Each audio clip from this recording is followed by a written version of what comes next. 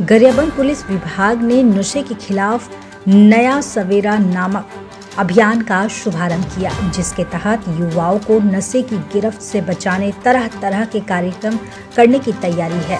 जिला पुलिस हर थाने में प्राथमिकता के आधार पर गाँव का चयन कर वहाँ पूरी तरह से नशा प्रतिबंधित करवाएगी। तो वहीं इसके लिए स्थानीय लोगों से विशेष मदद ली जाएगी। गरियाबंद के अतिरिक्त पुलिस अधीक्षक श्री डीसी पटेल ने बताया कि नशीली गोलियाँ तथा नशीले सिरफ के खिलाफ भी नगरीय क्षेत्रों में विशेष अभियान चलाया जाएगा। ऐसे मेडिकल जहाँ नशेड़ियों को दवाई उपलब्ध कराई जाती है, उनका पता लगाकर उन पर कार्रवाई की जाएगी।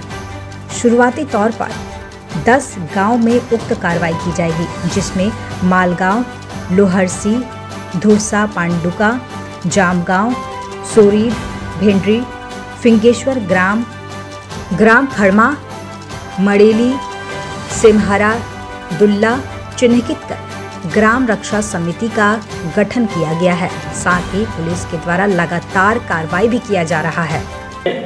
एक प्रकार से जो है, नशा के कारण जो है, बहुत विपरीत माहौल बना हुआ है। इसको ठीक करने के लिए पहले तक हम लोगों ने बहुत कार्रवाई किया, लेकिन कार्रवाई करने से ठीक नहीं हो पा रही है। इसको एक अभियान के तौर पर समाज और पुलिस मिल के जब तक नहीं करेगी तो ये समाप्त नहीं हो पाएगा।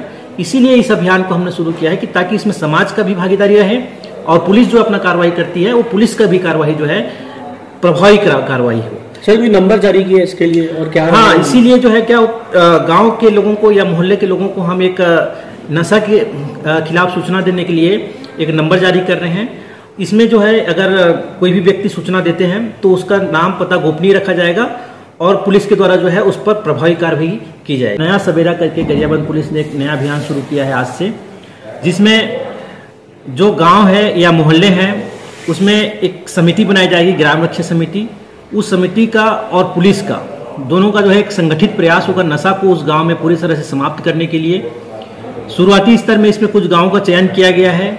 उन गाँवों को चयनित करके पहले उन गाँव में पूरी तरह से नशा को समाप्त किया जाएगा और फिर इसको जो है धीरे धीरे पूरे ज़िले में प्रसार करके पूरे गरियाबंद ज़िले को जो है अवैध नशा के व्यापार से मुक्त करने का ये एक अभियान है। गरियाबंद से फारूक मेमन की रिपोर्ट सी डिवीज़न टीवी।